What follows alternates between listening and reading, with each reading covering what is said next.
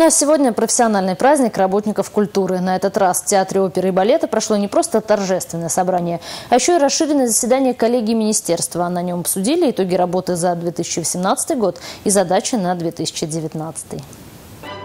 Более 300 миллионов рублей в 2018 году направлены на ремонт и модернизацию учреждений культуры. Построено пять сельских ДК в Валиковском, Батыревском и Бресинском, Комсомольском и Янтиковском районах. В рамках подготовки к празднованию столетия образования Чувашской автономной области отремонтировали 21 культурно-досуговое учреждение. Провели реставрацию восьми объектов культурного наследия. В 2018 году существенную финансовую поддержку получили три государственных театра в рамках проекта «Культура малой Родины». На выделенные средства театрами приобретено современно-техническое, звуковое и световое оборудование. Выпущено 12 новых постановок. В 2019 году будут созданы еще 7 новых спектаклей.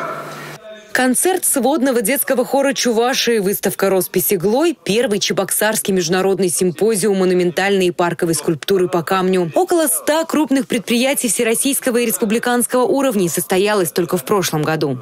Ставим задачи перед собой, как ну, нам нужно вместе с вами поднимать социальное самочувствие каждого человека.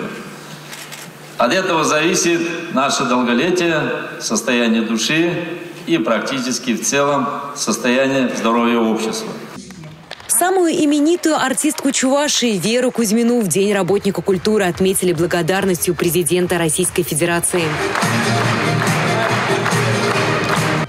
Анжелика Сергеева работает в сфере культуры вот уже 28 лет. В детстве она мечтала стать учителем рисования, но судьба сложилась иначе. Анжелика стала режиссером театра. При этом она не просто ставит спектакли, но и сама выходит на сцену. Сейчас уже не представляет себя в другой профессии. Я люблю играть на сцене.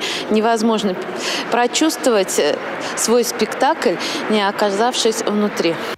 Сегодня Анжелика Сергеева получила почетное звание «Заслуженный работник культуры Чувашской республики». Ее работу, как и многих других, отметили медалями и дипломами.